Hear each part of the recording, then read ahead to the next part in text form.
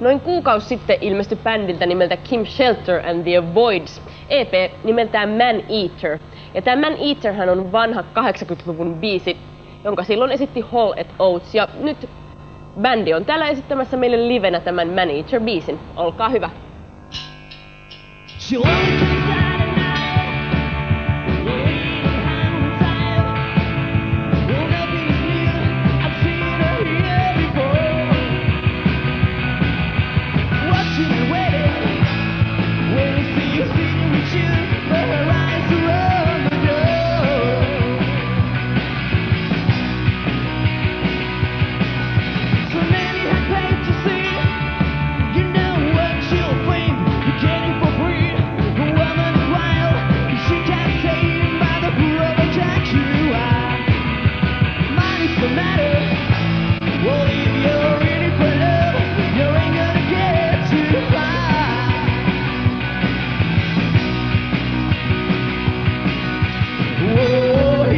turns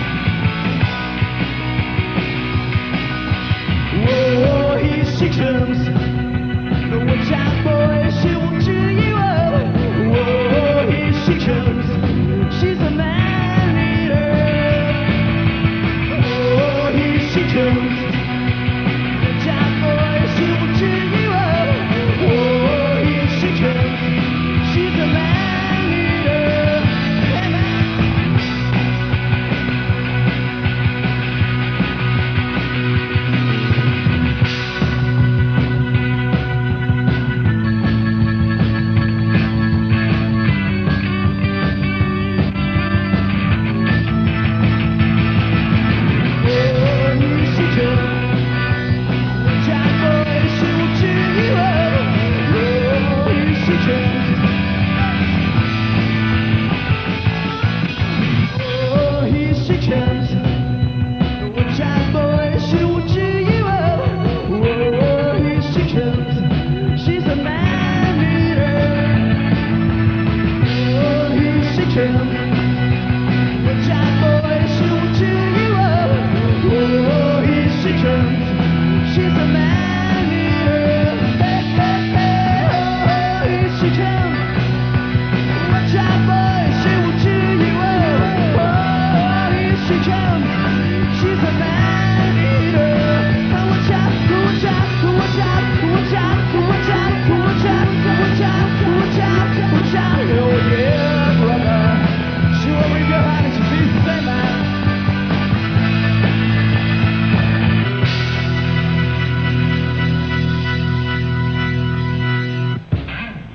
Tiros, tiros. Uh! Bora.